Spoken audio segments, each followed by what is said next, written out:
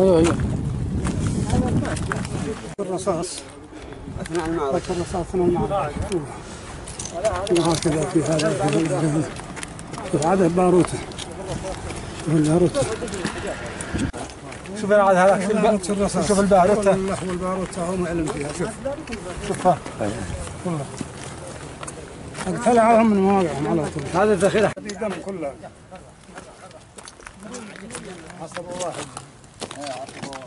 هذه محصنة. من اتجاه الشرق القلعة وجرف القردعي هذاك وما إليه.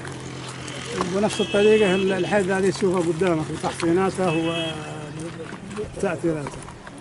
ومن هنا من جهة الشمال الحيث هذه تشوفها قدامك فيه. كان مليان قناصات والملاجئ حقهم ظاهرة قدامك تشوفها الآن ظاهرة. فكانت هذه محمية من كل الاتجاهات إلا أنه ال- ال- الشباب عندما يعني استلموا المهمة دخلوا من هنا مع بوابة إدارة الأمن. ولم يقرحوا لو ما تشوف أنت الحيد من الاتجاه الآخر منقول نقل من الرصاص. ومجموعة جات من الاتجاه الآخر. طلعوا من هناك ومجموعة جات من الاتجاه الآخر. مع المجامع التي اتجهت نحو ال- التبة هذه القريبة ثم القلعة. ثم القلعة. كانت القلعة وهذه هي إدارة الأمن وما حولها والقلعة وما حولها. كان هنا الهدف الأول لإسقاط الحوثي.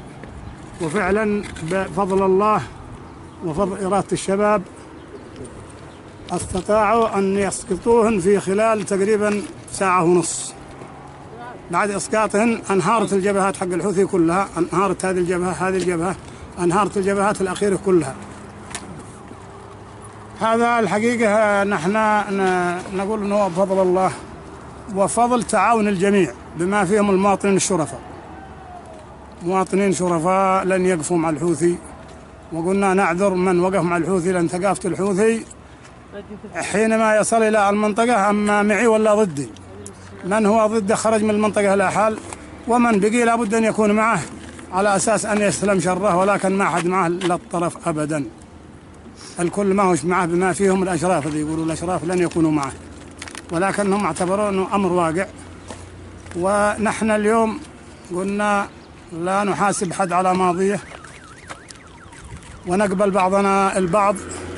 ونقف في الصف الصحيح وفي الطريق الصحيح الشرعية. ونقف في الموقف الذي يحافظ على اليمن وكرامته ووحدته.